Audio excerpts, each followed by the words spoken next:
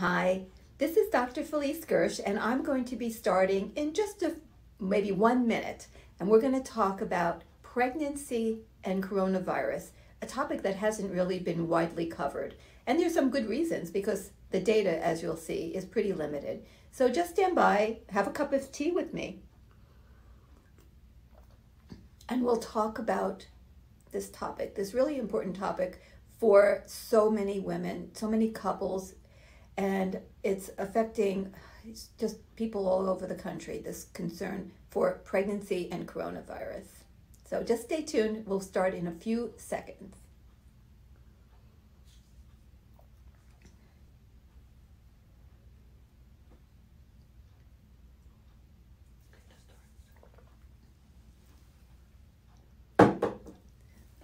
Hi, I'm Dr. Felice Gersh, and I'm the medical director of the Integrative Medical Group of Irvine.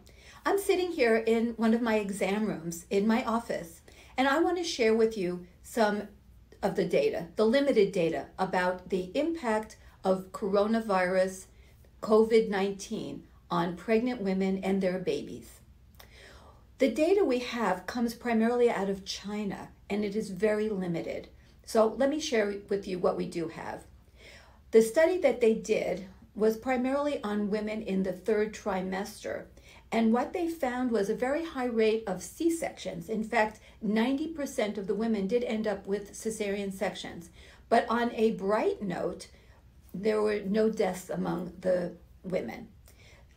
There's concern about stillbirth, there's concern about preterm deliveries and other pregnancy related complications. But overall, it seemed there was pretty good outcomes in spite of this very serious virus.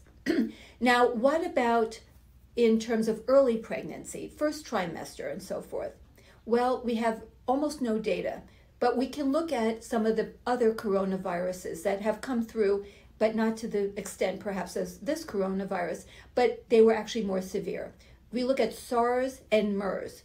The outcomes for pregnant women and their babies was really dire. It was really very, very dreadful with those particular versions of the coronavirus.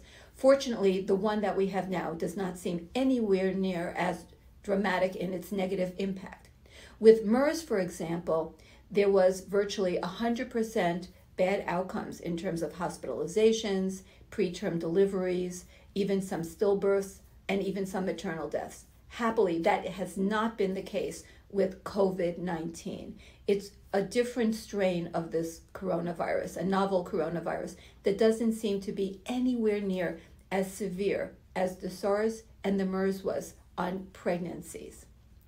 Well, let's say you are pregnant right now and you're living in this world of great fear and concern, social distancing, and so forth. What can you do as a pregnant woman to lower your risk? And do you actually have a higher risk than other women for developing problems? Well, the answer is, as I mentioned, we have little data, but in general, this is what we know about pregnancy and viral infections.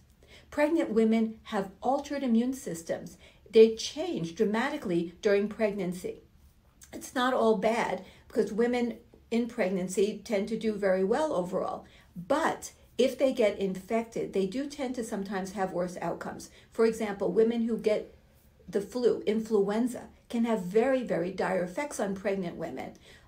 In the days when chickenpox was around, chickenpox could cause chickenpox pneumonia, which could even be fatal in pregnant women. Pregnant women have to have an immune system that tolerates an alien growing within them. Because after all, the tissues, the genetics, the proteins that the baby, the fetus, is making are different from that of the mother. It's like an organ transplant temporarily, and her immune system is modified to allow it to accept this foreign growth within her. And so that is what makes pregnant women potentially more vulnerable to infections, particularly viral infections. As well, pregnant women often, um, you know, they, they tend to like to socialize. You know, they love being with other women. And now I'm, we're telling you, if you're pregnant, you really have to stop the socializing. You have to do virtual baby showers and so forth. Now, what about doing positive actions to protect you? It turns out that the coronavirus works by acting on certain receptors in the body that are called angiotensin receptors. There are two. And there are certain places that these re- particular receptors reside. They're in the nasopharynx, in the lungs, in the gut. Those are some of the primary sites. So, what you want to do is make sure those organs are really healthy. Get an air purifier. There's some thought that that people who smoke, for example, and terrible air pollution increase the risk of severity of this infection. So please get a wonderful quality air purifier, especially for your bedroom. Make sure you eat organic foods, things like chemicals, preservatives, flavors, colorings, all those kinds of things, all the things that are in processed foods are very bad for the gut. We want to maintain a healthy gut and a healthy liver. They're finding that the gut is very much involved in a very significant percentage, and some even have liver failure. So please eat real food, lots of fruits and vegetables, lots of polyphenols and antioxidants to help maintain the health of your immune system, optimize its function, maintain a healthy gut. And then you'll take care of having good quality air. That's another thing that's actually happened. Isn't that amazing? Because people are driving less, there are fewer planes the air quality has dramatically improved all over the world. So that may help also to slow the spread and slow the severity of this infection. Now, what about transmission to the baby? This is actually very good news. There, there are some very good studies out of China where they actually tested amniotic fluid and umbilical cord blood. There was no trace of the virus in any of those locations they did not see what we call vertical transmission from the mother to the baby. So the mom is not giving the virus to the baby in utero. So that is very, very good. And if she should have the infection while she is pregnant, her antibodies can actually serve to help protect her baby. But if a woman is sick with the coronavirus when she gives birth, they will separate the baby from the mom. But as soon as possible, immediately if possible, you can express your milk and they will feed the baby. And as soon as your baby, you and the baby can reunite. So, on balance, there is actually a lot of good news. The certain issues that faced women who had to deal with SARS and MERS, those terrible infections with the coronaviruses that hit the US um, in a very small amount, but other areas of the world in much more significant numbers. Those particular strains of coronavirus had very, very bad outcomes. The strain that we're now dealing with does not seem to be anywhere near as severe. We need to do all we can to protect you. You need to protect yourself and your baby. And here's my prediction things will turn out okay. Stay far away from as many people as possible, cocoon in your home nest, eat wonderful food, and think positive thoughts. I think will all turn out as well as you can possibly imagine. One other thing please try to avoid unnecessary prenatal visits. They're actually cutting down on some of the prenatal screenings to just reduce exposures within the healthcare system. So talk with your obstetrician, decide what tests you really need, what you can maybe do without this time around, and make the best decision for yourself. So thank you for joining me, and now it's open to questions. So let's see if anyone is sending any questions. They said we're. I told someone we're taking them at the end. Can you talk a little bit about people who are trying to conceive that may not actively yet be sure. pregnant? well, my advice is hold off for three months. Use this next three months to just optimize your health. Eat lots of vegetables, do positive thinking, lower stress, and probably wait because we don't really know where things are going. This is probably not the most optimal time to actually conceive if you can time it. You know, it's very challenging if you are older, like say you're already in your 40s. Should you delay it? Well, maybe give it one month anyway. Let's just see what happens over the next month with as far as this virus. You know, maybe the whole thing will quiet down. Let's just see where it's going before you actually commit to getting pregnant on purpose. Someone writes, to what extent shall we isolate ourselves from families, visiting grandma, uncle, cousins? I think you should isolate yourself 100% from those people in terms of in person visits. this is such a critical time.